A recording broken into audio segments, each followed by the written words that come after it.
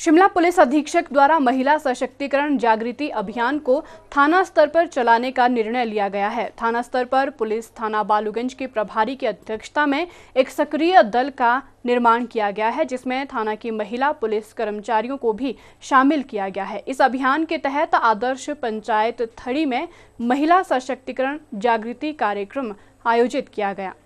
महिला सशक्तिकरण जागृति अभियान का शुभारंभ आदर्श पंचायत थड़ी से किया गया। थड़ी पंचायत में आयोजित इस कार्यक्रम में महिलाओं ने बढ़ चढ़कर हिस्सा लिया। इस दौरान महिलाओं को कोविड 19 महामारी के बारे में अवगत करवाया गया। सरकार द्वारा दिए गए दिशा निर्देशों की पालना करने को भी कहा गया। थाना बालूगंज के स्तर पर बनाए गए महिला सशक्तिकरण जागृति कार्यक्रम के सक्रिय ग्रुप के सदस्यों ने महिलाओं को उनके कानूनी अधिकारों के बारे में भी विस्तार से जानकारी दी। इस कार्यक्रम में महिलाओं को सशक्तिकरण के लिए प्रोत्साहित किया गया।